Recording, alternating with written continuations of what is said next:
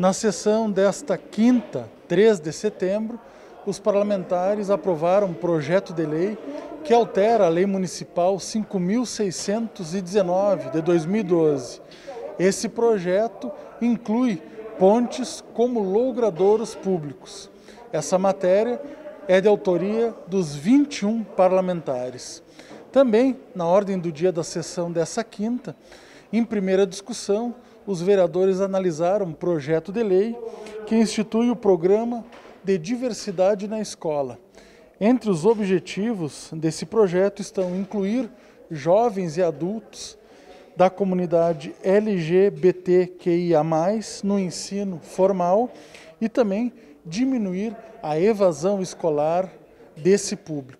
Esse projeto é de autoria da vereadora Lucido Artes e será, e será votado pelos parlamentares na próxima sessão, na próxima terça-feira. Também, na ordem do dia da sessão de hoje, os parlamentares aprovaram a prorrogação de comissão especial que acompanha as obras de esgoto e os problemas de desabastecimento de água no bairro Camobi. Então, essa comissão que é formada pelos vereadores Manuel Badic como presidente, Maria Aparecida Brizola como vice-presidente e Jorge Trindade como relator, terá mais 30 dias para desenvolver os trabalhos.